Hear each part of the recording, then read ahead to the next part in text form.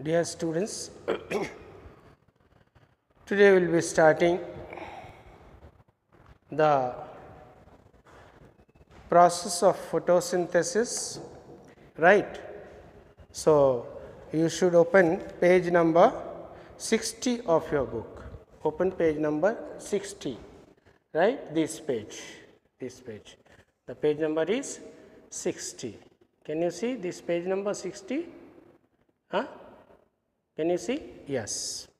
So, the process of photosynthesis is a biochemical process. In the previous video, I have told you the process, the process of the process,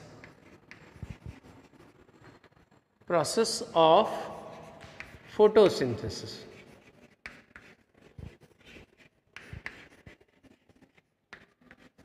The process of photosynthesis. Clear? What is this process? I have told you this is a biochemical process. Biochemical process means a chemical process that takes place or occurs in a living being or that involves a living being, right? So, what happens actually in this? Last time I have told you the definition of photosynthesis that the plants, the green plants, they absorb water from the soil with the help of their roots. So, they have a material available to them. What is that material? Water, right? Water. Clear? And I told sometimes as per the surrounding condition or bodily need of the plants, these plants they develop what? Underside or underlying surface of their lamina they have small pores. They develop it from time to time as per their requirement. Clear so as per their requirement they do you remember the name of these temporary pores or the pores that develop or arise at the time of need do you remember the name? The name I have told you already that is stomata, right. As we have this nose, you see this nose and underside of the nose, not upside. Do you, can you ever imagine why these holes are at the lower side, not at the upper side? we would have hole at the top to take the atmospheric air. It is not so. See how nicely nature has created all the systems in our body. It is because if the hole, holes will be facing upwards, then due to gravity, the dust particles they will settle, they will sediment, they will settle down at the bottom on this hole and just to block this passage very often. And the purpose of these holes will not be attained, will not be able to get the oxygen for our body, will not able to inhale atmospheric air, right. So, what happens?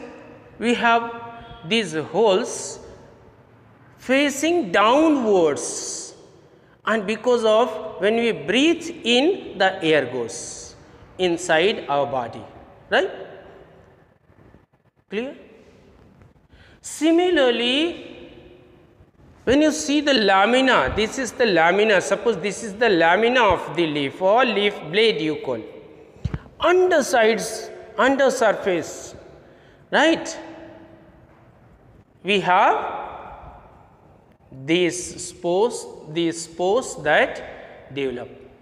Clear? These pores help the plants to take in the gas known as carbon dioxide gas. Right? atmosphere is a mixture of different gases. In previous video, I have already told you the composition of atmospheric air.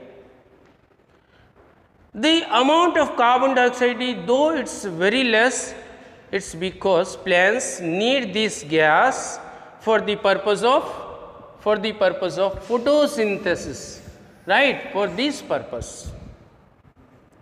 Clear? So what is the process? What happens in this? They have taken carbon dioxide with the help of their stomatal pores or sometimes through other gases also. Oh sorry other pores also that are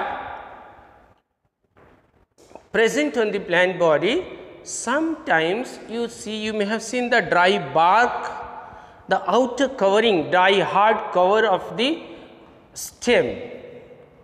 So they dry up sclerenchymatous tissue right?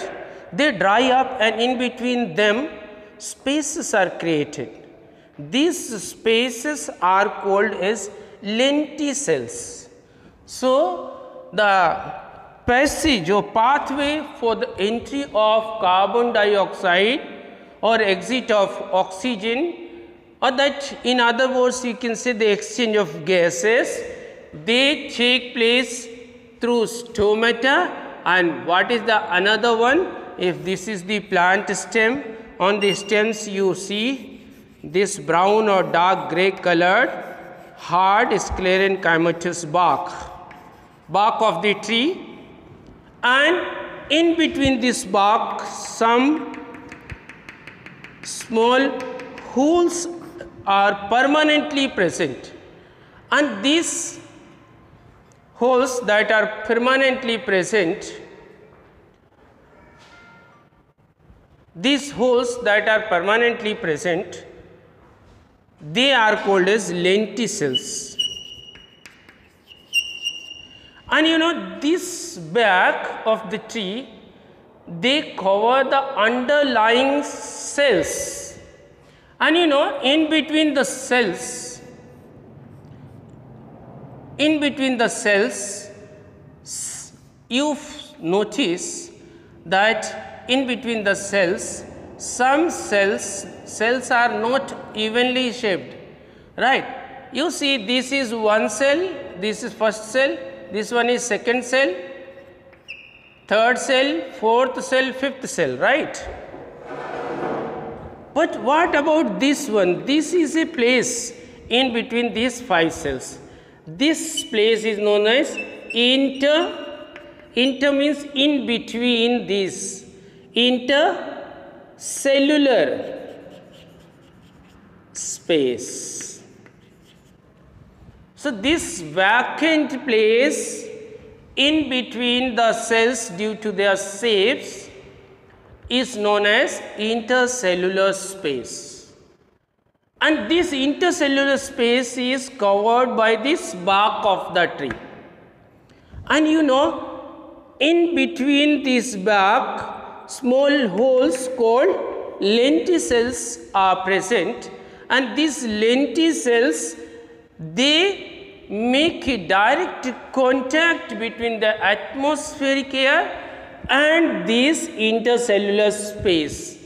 You so see this intercellular space, this cell number 3, this is third cell, cell number 3, cell number 2 and cell number 5. This is cell number 5th cell wall, this one is cell number 3rd cell wall, this one is the cell number second cell wall.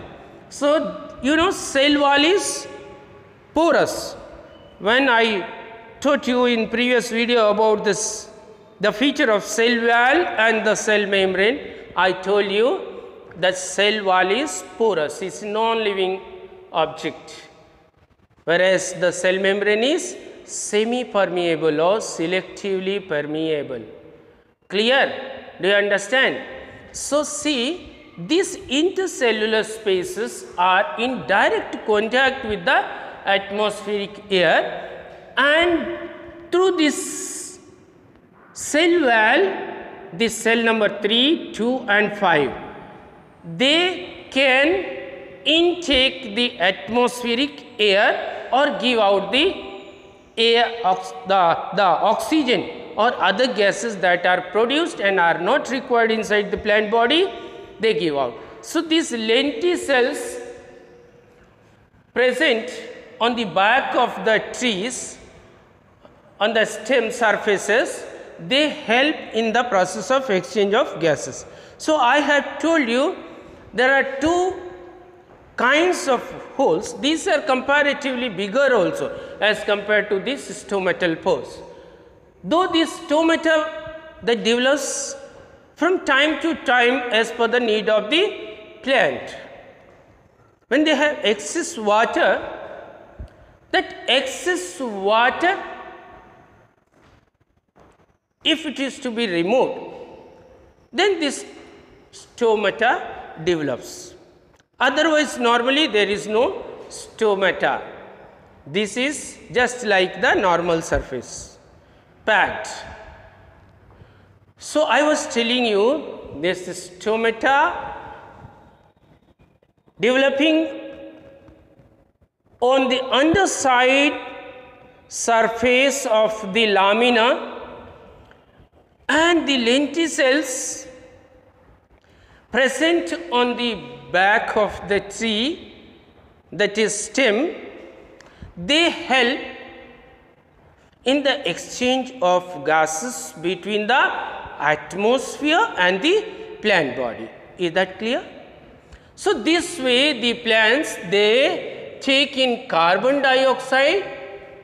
This is carbon dioxide. Carbon dioxide. Right? This carbon dioxide. This carbon dioxide and water these two things are available to them. Right they have one important distinguishing feature. If i say how do you know that a particular living being is a plant? Your answer very clearly seeing from outside with its physical appearance you say the plants are green in color. Very simple question. If I ask why the plants are green in color? You will say sir it's because the plants have yes plants have chlorophyll right. This chlorophyll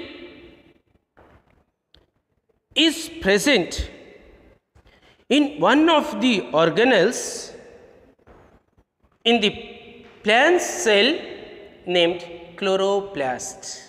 Chloroplast is a kind of plastid that helps, plastid means the coloring or the color box, the coloring material or the color box, right. So, plastids they help in giving different colors to the plant parts and that is why we see green color leaves, pink color rose, yellow colored ripe fruits, white colored flowers, orange colored peel of orange and other fruits red color berry, green colored gooseberry, then different colors. Oh my god amazing world of world of colors. We see as a feature of plants right? So one of the plastids named as chloroplast contains chlorophyll the green colored pigment and these green colored pigments they have a part right? They have a part they have a part named as grana right? These are disc like structures. You may have visited a party. The recently you may not have because of this corona pandemic. Otherwise earlier in the marriage parties when you visited you may have seen the food plates are arranged one above the other similarly in this chloroplast these grana are arranged like disc like structures at different places. but in between them it is not free. Empty space is not there. These are packed with ground material. These are packed in between the grana. These are packed structures. And this is called stroma. Right? So, what do you call this? Grana. This grana and this packing material is stroma. Stroma, right? This is your chloroplast, right? This grana is the structure that has the ability to trap sunlight. As you see, sometimes you stand in the sun and you can trap the heat of the sun in your body, you can absorb the heat of the sun in your body and you feel warmth during the winter season, right? Clear? Similarly, in the plants, in their chloroplasts, there is a structure that is present in the chlorophyll that is named as grana and they have the ability to trap, to catch if I tell you, go and bring one kilogram of sunlight, it's not possible for you to get it. You cannot trap it. We have, though we have made the instruments like solar cells to utilize this, to use this energy. We have various methods to use the solar energy. But as our eyes can use the light energy, light of the sun, right? But this grana has the ability to trap the solar energy and this solar energy that is trapped by grana is used like the like the stove in your house. You remember the stove? Stove in your house your mother uses in the kitchen? Yes.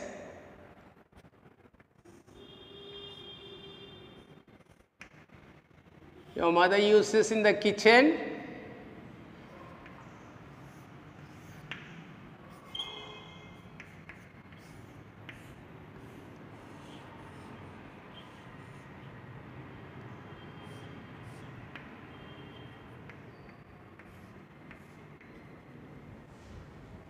Right? Though you have all the raw material, you have the you have the potatoes, you have the chilies, you have the coriander, you have the tomatoes, you have the uh, bottle gourd, everything is there. But you will not able to cook them, you will not able to make curry or make your food or you will not able to cook without this energy source, right. Similarly, the plants instead of this, they use what? The sun's energy the solar energy they use. You know sun is the ultimate source of energy for our planet or for all the planets we know, right. Instead of this, we human beings, we use this, but these plants, these plants, they have, these plants, they use this solar energy and they make their food. We say in simple language, they make their food. It's not they make their food. Rather, we can say they pack the solar energy in this packet. This is this carbon dioxide molecule they take and they take this water molecule and they pack in between these they pack what this sun's energy this energy of the sun so suppose this chalk is the sun's energy this my left hand is carbon dioxide right hand is water so what happens this water molecule this carbon dioxide molecule they pack this and now you have a different structure. Earlier this was carbon dioxide. This was water. And what is this one? Say this one is solar energy. Right? And this carbon dioxide, this water, they just pack this solar energy in them. Just imagine if this carbon dioxide quarrels with this water molecule and says, no, no, I will not be here. If this carbon dioxide goes away, where has the solar energy gone? Solar energy is, is freed from there that was trapped or packed inside these two molecules, the carbon dioxide and water. Right? So, what happens is the green plants with the help of their grana, they take the help of their two factors, two assistants or two raw materials they have, the two tools they have, the chemical molecules named as carbon dioxide and water and they pack the solar energy, they keep the solar energy intact and thus they result in new molecule. They result in new molecule and that new molecule is C6H12O6. This is carbohydrate. Carbohydrate. This is carbohydrate or what you know as glucose. Clear? Do you follow? So, what is the process the process of photosynthesis what happens? The green plants with the help of the grana present in the chlorophyll and that is chloroplast in the green parts of their body, they tap the sunlight and they pack in between the or they help take the help of carbon dioxide and water molecules and tell them you both just keep this pack. Don't let this energy go out. Right? And thus a new molecule is formed a chemical marker. A molecule that is known as carbohydrate is formed clear in a little simpler way as you read your in your physics that energy can neither be created and nor it can be destroyed. That is law of conservation of energy. That is you cannot create energy at the same time you cannot destroy the energy. What can you do? You just convert that energy from one form to another form. So, here this solar energy now is converted into chemical energy. So, in other words you can say the process of photosynthesis is the process of conversion of solar energy into chemical energy with the help of grana or the green parts of the plants and kept stored in potential form. You have read about potential and kinetic energy. Potential energy is the amount of energy in static state that is due to the mass or content of a body so, the plant their content is this carbohydrate right this carbohydrate is the content of is that clear? Is a simple process. I will just take a, revision of this for you. The revision i will take. I have told you that i will be telling you about the process of photosynthesis. So, what is the process of photosynthesis?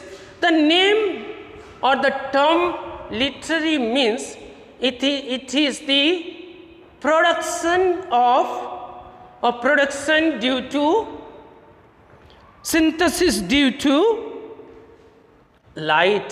Do you remember the last day I have told you the meaning of these two words separately?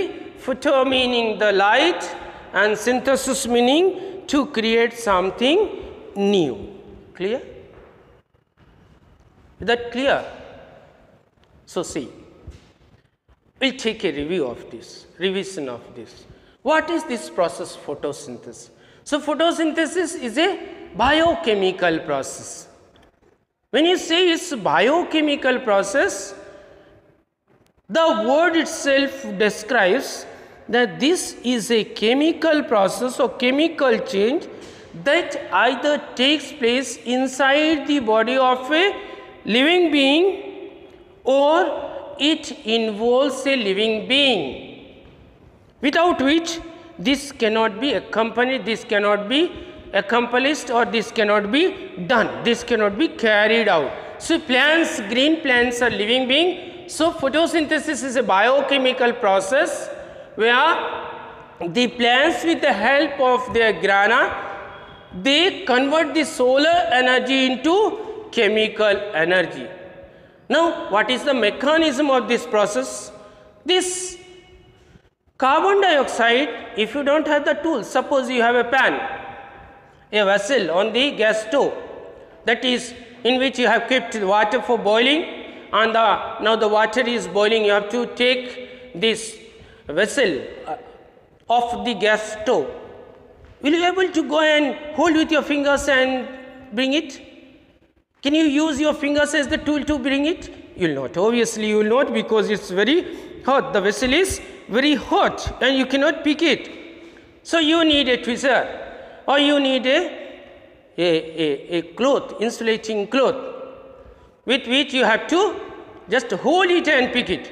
The tool, you need the tool. Similarly, these plants, they absorb carbon dioxide from the atmosphere they absorb water molecules from the soil with the help of their roots and using these two tools they trap, they pack the solar energy into this molecule, into this resulting substance into chemical form, right.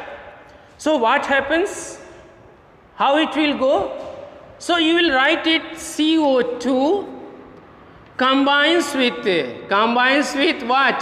H2O in presence of sunlight. In presence of sunlight in what? In chlorophyll. Does your mother cooks in bedroom? No. If i ask where does your mother cooks? Cooks in the kitchen where do you family members go for the prayer? Obviously, you go in the prayer room or to the temples or church or mosque. Similarly, to occur, to get this process carried on, the place is the chlorophyll and in the chlorophyll, this instrument, the grana, the grana can absorb absorb or trap the solar energy. So, carbon dioxide combines with is combined with water in presence of sunlight because this sunlight is to be packed in between and the resulting molecule will be C6H12O6. So, to balance how many molecules? 6 carbon dioxide and 6 water molecules and then they result one molecule of carbohydrate in this process. And this carbohydrate is a packet of energy is a packet. Packet of energy.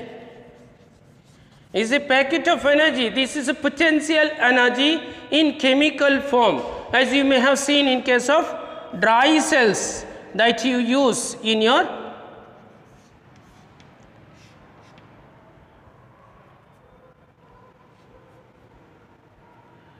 in your different tools. The dry cells you use in your remote controls, in your electronic toys, in your audio systems. So, different places you use the dry cells, they have the stored chemical energy and this chemical energy if you are using in your audio sets turns into sound energy. Or if you are, if you are using it into that uh, remote controls that turns into radiation energy right? That sends signals. Clear? So similarly this solar energy this sun's energy is converted into chemical energy. Right? Is converted into chemical energy. And in this process another important gas is released that is oxygen this is where we are intended or interested in the plants for our concern. We human beings and all animals, they need this oxygen for the respiration process. Clear? This oxygen has come out along with this carbohydrate in the process of photosynthesis. So, in the process of photosynthesis, 6 carbon dioxide H molecules and 6 water molecules. They are combined together in presence of sunlight. And where is the kitchen? In the chlorophyll and are converted into one carbohydrate molecule and